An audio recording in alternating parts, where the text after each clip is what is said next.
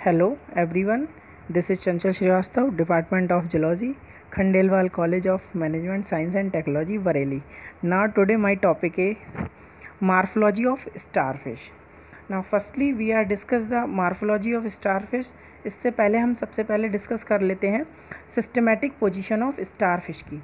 तो जो स्टारफिश होता है, उसका फाइलम जो होता है, वो इकाइनोडर्मेटा होता है और क्लास एस्टीरोडिया होता है।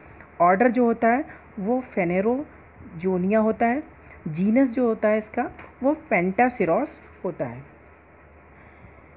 जैसा कि अभी हम लोगों ने सिस्टमेटिक पोजीशन की बात करी, ऐसे ही हम हैबिट एंड हैबिटेट की बात करें तो all echinoderms are marine starfish की जो स्पीसीज़ हैं, लगभग 200 स्पीसीज़ पाई जाती हैं ऑल वर्ल्ड में। जिसमें से West Indies, Arabian Sea include है। इसके अलावा इट इज़ नॉक्ट्यूरल एनिमल्स यह रॉक्स सॉलिड मटेरियल्स से क्या होता है? अटैच रहता है। इसके अलावा इट इज़ कार्निवोरस जो small fishes Pila and crustaceans को ईट करता है। अगर हम इसके एक्सटर्नल फीचर्स की बात करें तो शेप एंड साइज़ के अकॉर्डिंग यह radial symmetrical star shape about twenty five centimeter इसका डायमीटर होता है। कलर में है पिंक और ऑरेंज पर्पल कलर का होता है। इसके अलावा अगर हम इसके एक्सटर्नल फीचर्स की बात कर रहे हैं तो इसके मेनली दो सरफेस होते हैं। एक ओरल सरफेस और दूसरा हमारा एबोरल सरफेस सबसे पहले हम इसके एबोरल सरफेस की बात करें तो एबोरल सरफेस पर you can see in this picture many organ parts represent किए गए हैं, जिसमें से हमारा, इसमें स्पाइंस होते हैं, उसके बाद डर्मल ब्रांचिया होते हैं और डर्मल ब्रांचिया के बाद पेडिसिलेरियाई एनस और मेड्रीपोराइड्स मेन इंपॉर्टेंट पार्ट होते हैं। स्पाइंस जो इसकी बॉडी को प्रोटेक्शन में हेल्प करते हैं।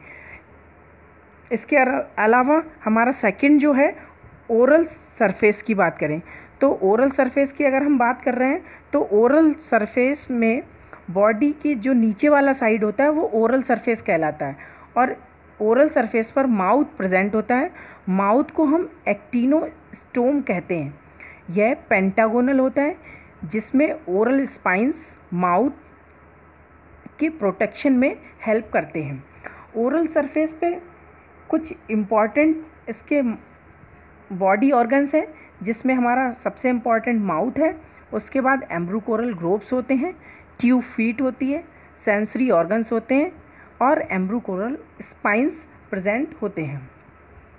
इसके अलावा हमारा सबसे इंपॉर्टेंट इकाइनोडर्मेट का जो पार्ट है, उसे हम वाटर वेस्कुलर सिस्टम कहते हैं।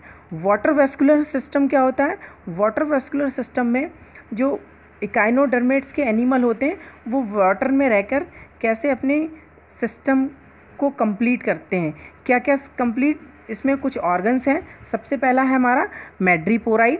उसके बाद जैसा कि आप इस पिक्चर में देख रहे हैं, मेड्रीपोराइड एक रिंग की तरह दिखाई दे रहा है। उसके नीचे हमारा मेड्रीपोराइड लीड करता है स्टोन कैनाल को। उसके बाद हमारा रिंग कैनाल है। रिंग कैनाल के बाद हमारा टेडीमोन वॉइड्स हैं, उसके बाद रेडियल कैनाल है, लेटरल कैनाल है और ट्यूब फीट हैं। ये हमारे main important water vascular system के कुछ पार्ट्स हैं। सबसे पहले अगर हम बात करें मेड्रीपोराइड की, मैं मेड्रीपोराइड लाइट कलर का एबोरल सरफेस पाया जाता है। यह पोर कैनाल या जिसको हम लोग स्टोन कैनाल्स में इसकी ओपनिंग होती है। नेक्स्ट है हमारा स्टोन कैनाल। अगर स्टोन कैनाल को देखें तो स्ट्रक्चर में कैपिटल एस की तरह ये दिखाई देता है। जो कैपिटल एस की तरह स्टोन कैनाल दिखाई देता है, ये एम्पुला या रिंग कैनाल को जोड़ने में हेल्प करता है। इसके अलावा, रिंग कैनाल की अगर बात करें तो रिंग कैनाल पेंटागोनल होता है। पेंटागोनल जो फाइव एम्ब्रिकोरल आर्म्स को जोड़ने का कार्य करता है।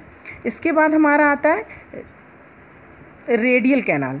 रेडियल कैनाल की अगर हम बात करें तो रेडियल कैनाल में एक ब्रांचेस में कई सारे ट्यूब फीट निकले रहते हैं।